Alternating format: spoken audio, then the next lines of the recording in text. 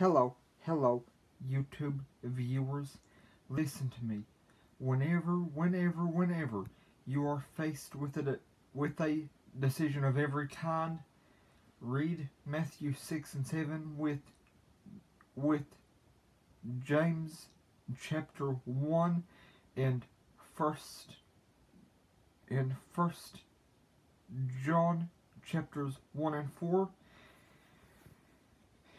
and after after after you have read all of those passages ask the Lord to help you to make the decisions he wants you to make put a reminder in all of your devices to do this on a regular basis.